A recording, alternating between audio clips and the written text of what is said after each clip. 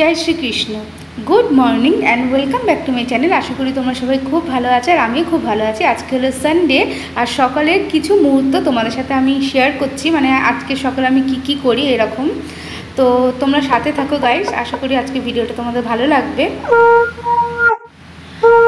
সকাল কিছুদিন ধরে আমি আগে সকালে পুজোটা করে নিচ্ছি, তারপর বাকি কাজগুলো আমি করছি। তো গোপাল ঠাকুর যেহেতু আছে, তো গোপাল ঠাকুরকে টাইমে খেতে দেওয়া পুজো দেওয়া খুবই দরকার। তো সব সময় এমন হয় না, কিন্তু বেশিরভাগটা আমি চেষ্টা করছি যে সকালে স্নান করে মানে ঘরদোর একটু পয় পরিষ্কার করে স্নান করে পুজোটা দিয়ে তারপর কিচেনে কাজ করব। তো দেখো ব্রেকফাস্টে আজকে বানাচ্ছি ভিন্ডি তারপর পেঁয়াজ আর টমেটো দিয়ে একটা তরকারি।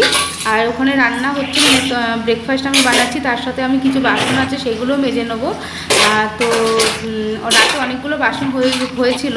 তো আমি যতটা পেরেছিলাম মেজে নিয়েছিলাম, তারপর কাজবাজ করতে করতে আরও একটু বাসন এদিক ওদিক থেকে হয়েই গেছিল।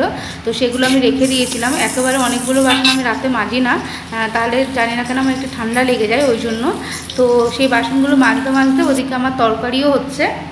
তারপর আমি রুটি করে নেব। আটা কিন্তু আমি মেখে নিয়েছি। তো আজকে ব্রেকফাস্টে রয়েছে ভিন্ডি ভাজা রুটি এবং একটু দুধ চা করব। অনেক দিন পর অ্যাকচুয়ালি আমরা দুধ চা খাচ্ছি। কারণ আমরা মানে অনেক দিন হয়েছে দুধ চা খাই না। প্রায় বন্ধ করে দিয়েছি, রসাটাই আমরা বেশি খাই। কিন্তু আমার আজকে ইচ্ছা হচ্ছে যে একটু দুধ চা করি, যেহেতু ঘরে দুধ আছে ওই জন্য। আর তো বাসনটা দেখো আমি মেজে নিচ্ছি, এরপর এই তরকারিটা একদিকে হচ্ছে, তারপর আমি রুটি করে নেব এবং চাটা করে নেব। আর তার সঙ্গে কিছু শাকসবজি রয়েছে, সেগুলোকেও আমি ফ্রিজে একটু রাখার ব্যবস্থা করব। যেরকম লঙ্কা রয়েছে, তো সেগুলোকে আমি বেশি করে ধুয়ে মানে ভালো করে ধুয়ে লঙ্কাগুলোকে এ দেখো বেছে নিচ্ছি, কাঁচা লঙ্কাগুলোকে। আর ওদিকে রয়েছে গাঠি তো গাঠিটা রেখে দেবো আপাতত গাঠি আমি ধোবো না, কারণ গাঠি জলে দি, জলে দিলে আমি দেখেছি একটু খারাপ হয়ে যায়। তো গাঠি এইভাবেই থাকবে, কিন্তু কাঁচা লঙ্কাটা আমি ভালো করে ধুয়ে রেখে দেবো। আর কাঁচা লঙ্কার যে মানে বোটা থাকে সেটাকেও ছাড়াতে হবে। তো সেটা আমি পরে ছাড়াবো। আপাতত আমি ভালো করে এই দেখো জলে ধুয়ে নিয়েছি। আর কিছুক্ষণ আমি পাখার তলায় রেখে দেবো মানে ফ্যান চালিয়ে রেখে দেবো, যাতে জলটা একটু শুকিয়ে যায়। আর ফ্যানের হাওয়ার তলায় রাখলে অনেকটাই দেখি জল বেশ শুকিয়ে যায়। আর এই দেখো দেখো আমি দুধ চা করার জন্য চলে এসেছি। একদিকে কিন্তু আমার তরকারি হয়ে গেছে।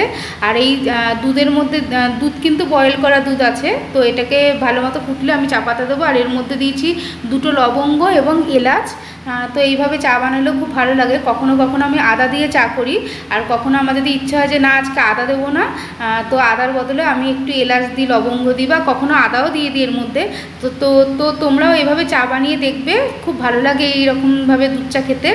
আর যদি এইসব না করো, তা নর্মাল আদা দিয়ে করবে। আগে আমি নর্মাল দুধ চা করতাম, ওর মধ্যে কিছু দিতাম না, কিন্তু এখন বেশ ভালোই লাগে এইভাবে করলে। আর দেখো, আমাদের ব্রেকফাস্ট করা হয়ে গেছে মানে চা, তারপর রুটি সবই হয়ে গেছে খাওয়া দাওয়া তো এখন আমি যেটা করছি, সেটা হলো যে অনেক দিন ধরে ফ্রিজে পটল পড়ে রয়েছে, আর উচ্ছেও পড়ে রয়েছে। তো কোটাকাটির অভাবে এক এক সময় হয় যে, সবজিগুলো না মানে তাজা সবজি একটু শুকিয়ে যায়, তারপর আমি রান্না করি। তো আমি ভাবছি যে, না, আর শুকা মানে এর থেকে বেশি শুকিয়ে গেলে ইউজ করতে পারব না। যার জন্য আমি সবজিগুলোকে কেটে রেখে দিয়েছি। আর এ দেখো উচ্ছে ভাজাগুলো কিন্তু, উচ্ছেগুলোকে কিন্তু সরি উচ্ছে ভাজা বললাম সরি উচ্ছেগুলোকে কিন্তু আমি গোটা ভালো মতো ধুয়ে নিয়েছি, পটলটাকে গোটা ভালো মতো ধুয়ে আর একবার কেটে আর একবার ধুয়েছি। ধুয়ে এবার আমি ফ্রিজে রেখে দেবো আর হ্যাঁ উচ্ছেগুলোকে কিন্তু আমি কিছুক্ষণ হাওয়ার তলায় রেখে দিয়েছিলাম। মানে উচ্ছেগুলো আমার অনেকক্ষণ আগেই কাটা রয়েছে। তো তোমাদেরকে এই দু চারটে পটল কাটাই আমি দেখালাম। তো এ দেখো, এর মধ্যে ভরে আমি রেখে দিচ্ছি। কারণ রান্না করার সময় যদি আমি রান্না করি, তখন যেন আমার মনে ওই খুদ খুদ ভাবনা আসে যে আরেকবার ধুতে হবে। তার জন্য আমি দুবার ধুয়েছি। একবার গোটা সবজি ধুয়ে নিয়েছি, আরেকবার কাটার পর ধুয়ে তারপর ফ্যানের হাওয়া